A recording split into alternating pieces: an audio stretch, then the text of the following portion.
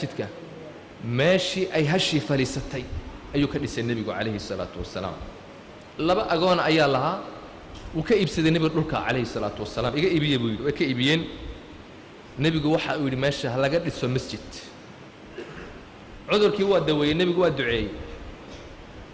Masjidkii dadku isku imanayeen ummadda laga hogaaminayey laga maamulayey ayuu nebigu dhisaya calayhi salaatu wasalaam oo dadkan ilaahay buu raba inuu kuwala xidho waa la dhisayay asxaabtii waxay bilaabeen inay dhisaan. Oo mid walba intii maarata gacantiis u dhiibo. Waa la gurayey nebigu waa la dhisayay calayhi salaatu wasalaam. Waxaa ragga aadka u dhisayay ka mid ahaa saxaabiga camaar ibnu yaasir. Saxaabtu hal jaajuur bay qaadayeen. Isagu laba jaajuur buu qaadayay. Xamaase iyo maarata siduu u rabo masaajidku inuu hore uga dhismo. Inaku bas ma jecli masaajidkeena inuu inoo dhismo hadda? Xamaasaan u haynaa ma nebigu calayhi salaatu wasalaam asxaabtiisa oo ku boorinayey inay dhisaan masjidkaasi. Ma aha meel salaadoom lagu tukado. Waa meel cilmi lagu yeesho wax lagu barto oo qur'aanka lagu xafido oo la isku waaniyo oo dadka laga warhayo oo ciidamada lagu diro oo waa markas islaamiya wuxuu dhisayay nebigu calayhi salaatu wasalaam nebigu waa la dhisayey xaggaa intuu faliisto lugta lugta ma dul saaray nebigu calayhi salaatu wasalaam dhisa ma lahayn. Waa la dhisayey siigadaa ku daadanaysa dhag wuxuu gurayay nebigu calayhi salaatu wasalaam. Markaasay asxaabtu lahaayeen lain qacadnaa waannabiyu yacmalu ladaaka mina alcamalu almudallalu. Taasay ku heesayeen. Haddii aan fadhiisanno oon nebigana uu shaqaynayo waa arrin baadiya nebiga ilahay baa dhagaxdii guraya oo ciiddii guraya oo la shaqaynaya oo dhisaya oo dhagax jebinaya oo maxaa inagayna faliisin mid walba markuu arkay nebiga oo dhisaya mid walba waa dhaqaaqaya waa ordayay firfircooni buu la imanayay nebiguna waa u jawaabayay calayhi salaatu wasalaam. Waxa uu lahaa allaahumma laa caysha ilaa cayshu alaakhira faqfir lilansaari waalmuhaajira wuu dhisayay nebigu la dhisa. Waxa uu lahaa ilaahow caysh iyo nolol ma jirto nolosha aakhira mooyaane. Ilaahow u dembi dhaaf ansaarta iyo muhaajiriinta ilaahow dembi dhaaf. Labadiiba nebigu waa walaalaysiinaya calayhi salaatu wasalaam. Waa dhaqaaqay nebigu dhi meesha ku aasnayd oo mushrikiintu ay lahaayeen waa laga saaray oo waa la fogeeyey dhul meesha kharibnaa oo aad u laaqnaa nebigu waxa uu yidhi hal simo. Geedo timira oo meesha waa la gooyey. Ciid baa lagu simay. Masaajidkii nebiga waa la dhisay. Saddex albaab ayuu lahaa masjidku nebigu calayhi salaatu wasalaam. Kadibna waxaa loo wareegay guryihii nebiga calayhi salaatu wasalaam ayaa loo wareegay nebigu calayhi salaatu wasalaam xaggaas ayuu masjidkiisii ku dhisay waa khalaas masaajidkii waa buuxsamay. Laakiin salaadaha habkee la iskugu yeedhi. Waa la garan waayey nebigu asxaabtu la tashaday. Markii wakhtigii uu salaadda u gaadho maxaan samaynaa? Qaar baa waxay dhahen naaquusan qaadno. Qaar baa waxay dhahen bahlan garaacno. Qaar baa waxay dhahen qiiqan shidno. Maya nebigu waxaasoo dhan calayhi salaatu wasalam u kaadiyey buu lahaa saxaabi la yidhahda cabdillaahi ibnu zayd ayaa waxaa nebigu u yimid calayhi salaatu wasalaam waxa uu yidhi rasuulkii ilaahayow riyadii baa xalay la igu yimid. Waxaa isoo maray nin dhar akhtara xidhan oo naaquus wata. Mahalla afuuf. Gacantiisa ku wata. Markaasaa waxaan ku idhi yaa cabdallaah addoonka ilaahayow bal naaquuska naga iibi. Carbuunkan ama baalkan la afuufo naga iibi. Markaasaa waxa igu yidhi wamaa tasnacu bihi? Maxaad ku samayn? Markaasaa waxaan ku idhi salaadda markay gaadho ayaa iskugu yeedhay wuu ku fikirayaa. Markay salaaddu gaadho sidan iskugu yeedhi wuu ku seexday. Wuu ku riyooday kadibna. Waxaan markay salaaddu ay gaadhaan iskugu yeedhi lahayn waan afuufi lahayn dadku. Salaaddii baa gaadhaa la odhan lahay waxuu igu yidhi afalaa adulluka calaa khayri min daalik? Arrintaa arrin ka wanaagsan oo ka khayr badan ma kuu sheega. Haa baan idhi. Waxaad samaysaan allaahu akbar allah aadaankii ayuu baray. Aadaankii siduu yahay ayuu xafidsiiyey. Markii hurdadii uu ka soo toosuu nebiga u tegay calayhi salaatu wasalaam markaasuu u sheegay uu ku yidhi nebi allow sidaasaan ka soo xafiday ninkii nebigu waxa uu yidhi innahaa la ru'ya xaq in shaa allah. Waa riyo xaqiiqo ah oo dhaba. Kac bilaal u tag bar.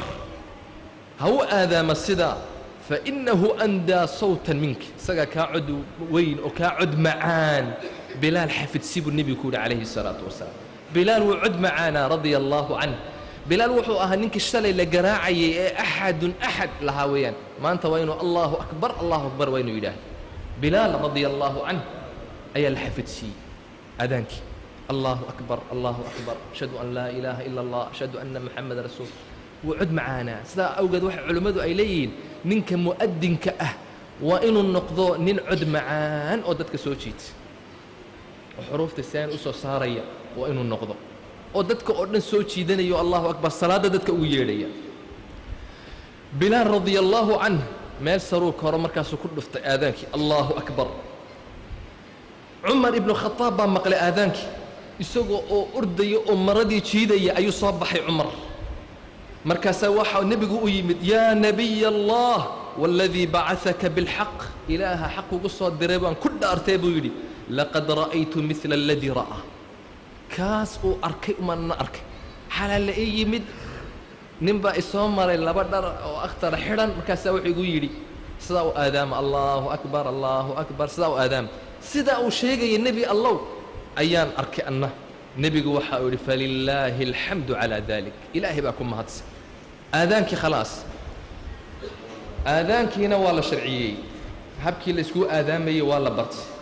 Nebigu calayhi salaatu wasalaam arrintaas ayuu bilaabay. In dadkii loo aadaamo masaajidkii la iskugu yimaado salaadihii lagu tukado nebigu calayhi salaatu wasalaam arrinta labaad uu istaagay ma taqaanaa. Waa almu'aakhaat bayna almuslimiin. Inuu muslimiintan uu walaalaysiiyo nebigu calayhi salaatu wasalaam dad baa muhaajiriina oo xoolahoogii iyo guryahoogii iyo sharaftoodii iyo wax walba ka yimid. Walaalahood baa u yimaadeen reer madiina u yimaadeen ansaartiiba u yimaadeen. Nebigu waa walaalaysiinaya calayhi salaatu wassalaam. Waaladiina tabawa'u addaara waaliimaana min qablihim yuxibbuuna man haajara ilayhim walaa yajiduuna fii suduurihim xaaja ilaahay waxa uu leeyay dadka mu'miniinta ee sii diyaariyey waxay sii diyaariyeen daartii. Madiinay sii diyaariyeen guryahoogii bay sii diyaariyeen iimaankiina way sii diyaariyeen. Waxay jecel yihiin muhaajiriinta u imanaysa ayay jecel yihiin. Nebigu waa walaalaysiiye wuxuu idhi mid laba laba u walaalooba mid muhaajira iyo mid ansaar ha walaaloobaan. La heli maayo nin faqiira oo meelaha taagan mid iyo mid baa lagu darayaa saxaabtii ridwaan ullaahi mid iyo mid baa la raacinayaa gurigiisu ka cunaya wuu la noolaanayaa wuu ka warhaynayaa way way wala nool yihiin shaqadu barayaa sidaasuu nebigu calayhi salaatu wasalaam uga hortegey shaqa li'idii muhaajiriinta dhexdoodana culimmada qaarkood waxa le wuu walaalaysiiyey nebigu. Muhaajiriintii iyo ansaartiina wuu walaalaysiiyey nebigu calayhi salaatu wasalam wuxuu soo gaarsiiyey nebigu. Waxa uu yidhi way waad isdhaxashaan walaalnimo dhaxalnimo gaadhaysa hadduu dhinto walaalkii uu dhaxlayo isagu xoolihiisi iyo wixiisii o dhan uu qaadanayo. Ilaahay markii dambuu nebiga ku soo dejiyey wa ulularxaami bacduhum wlaa bibacdin dadka qaraabada ee raximka isku ah kuwaasaa dhaxalka u awla ah. Kuwa kale waa dar ilaahay bay walaala ku yihiin laakiin dhaxalka waa laga joojiyey. Nebigu calayhi الsalaatu wasalaam asxaabta wuxuu ka maydhay casabiyadii iyo qabaliyadii iyo xumaantii iyo dadka iswalahaystay oo dhan waxay noqdeen dad walaalo oo oo jecel ayay noqdeen. Nebi moxamed baa gebigood aabbow ah calayhi salaatu wasalaam. Isagaa mucallin u ah isagaa imaam u ah isagaa hogaamiye ah nebigaa lagu wala dayanayaa calayhi salaatu wasalaam. Asxaabtu waxay ka gaadhay walaalnimadu inuu qofku yidhaahda haweenaydayda laba haweenaan leeyahay midaan kuu furo mid dooro nebigu waxa uu walaalaysiiyey cabdiraxmaan ibni cawf iyo sacad ibnu rabiic ayuu nebigu walaalaysiiyey sacad ayaa cabdiraxmaan ku yidhi walaal innii akharu alansaari maalan ansaar waxaan ka mid ahay reer madiina kuwa ugu lacagta badan ayaan ka mid ahay. Maalkayga labaan u qaybin qayb adu qaado qaybna anaa qaadan.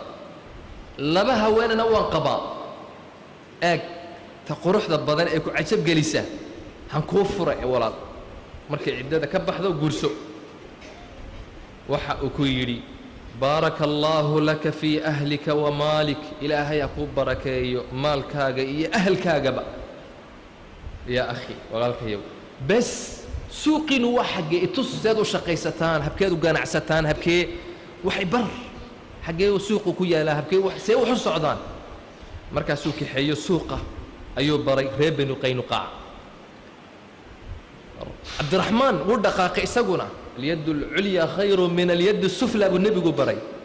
Yacni qofka sadaqaysanaya qofka sadaqadda bixinaya qof waxaa khayr badan qofka sadaqadda bixinaya waa inaad ka saraysid inaad dadka u baahatid maaha waa inaad shaqaysatid taasuu nebigu baray calayhi salaatu wasalaam inuu muhaajir walba ninka ansaariga qacanta hoos dhigto oo culays ay noloshu noqoto nebigu ma doonayo wuxuu doonayaa nebigu inuu mid walba isku filnaado u shaqaysto ayuu rabaa nebigu calayhi salaatu wasalaam. Suuqay bar buu yidhi suuqii buu tusay reer banu qaynuqaa xaggaa laga shaqaystaa waxaana lagu shaqaystaa.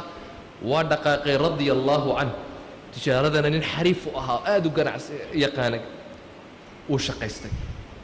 Ilaa ilaahay u barakeeyey xoolihiisii radia allaahu canh nebigaa arkay maalin isaga oo cadar udgoon u ka socdo oo bahal yaro marka safre la odhanayo marka la guursado la soo maran la soo marsan jiray ayuu nebigu arkay calayhi salaatu wasalaam markaasuu nebigu yidhi muhayim ha maxaa jira? Waxbaa jira maanta? Maxaa jira buu nebigu ku yidhi calayhi salaatu wasalaam waxa uu yidhi nebi allow tasawajtu waan guursaday. Faqiir ma ihi khalaas ma baahni nebi allow sidaasaad noo walaalaysid nebi allow waan isku filnaaday nebi allow waan shaqaystay nebi allow waan guursaday rasuulkii ilaahayow nebigu aad buu ugu farxay calayhi salaatu wasalam wuxuu ku yidhi maxaad sadaaq iyo meher maxaad dhiibtay wuxuu yidhi nawaad oo dahaba ayaan dhiibay ansaartii baa nebiga u yimid calayhi salaatu wasalaam. Waxay ku yidhaahdeen rasuulkii ilaahayow walaalahay ree maka muhaajiriintii waxaan doonaynaa inaad noo qaybisid timirta. Madiine timir badan baa ka baxda. Timirta rasuul allah noo qaybi muhaajiriintana qaar si ansaartana qaar si nebigu waxa uu yidhi may. May buu nebigu yihi calayhi salaatu wasalaam haddaba waxaa idhaha nebi allow iyakuna ha ka shaqeeyaan. Annakuna mudhaha ayaan la qaybsamaynaa. Yacni iyakuna ha shaqeeya annakuna timirtii baan leenahay geedihii badh badh